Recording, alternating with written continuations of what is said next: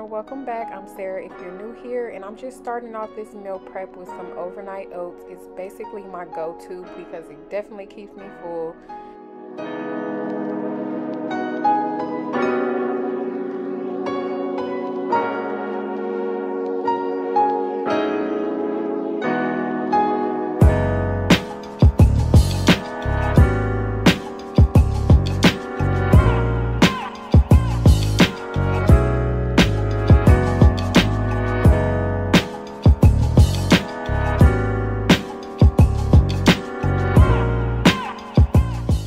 This is just a Caesar salad kit that I either got from Save-A-Lot or Kroger. I'm not sure which one, um, but it's a pre-kit that has um, some grated cheese in it, the lettuce, the crouton, and the dressing.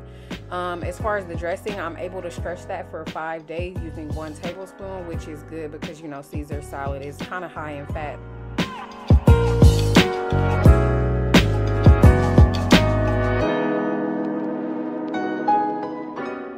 So as you'll be able to see at the end of the video, I'm one of those annoying people that forget to eat. And so I saved my lunch and had it with my dinner.